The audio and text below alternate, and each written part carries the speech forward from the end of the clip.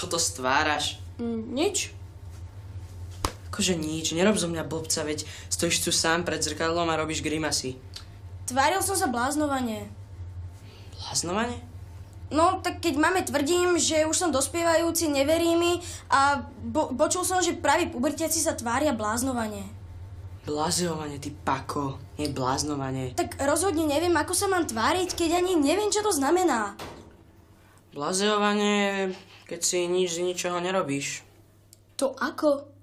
No je jasné, že ty nevyzeráš ako dospievajúci pubertiak, keď ti mamička povie Sámko, nechceš, aby som ti upiekla tvoj obľúbený koláčik a ty na to Áno, áno, super cool. Tak lebo som full spokojný.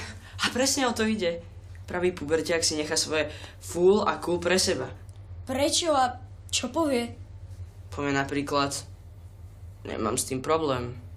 Alebo ak ti viac netreba. Takže to znamená blazeovaný? Hm, áno. Ale nie som si istý, či si pripravený. Daj mi ešte šancu, veď keď budem trochu trénovať, tak...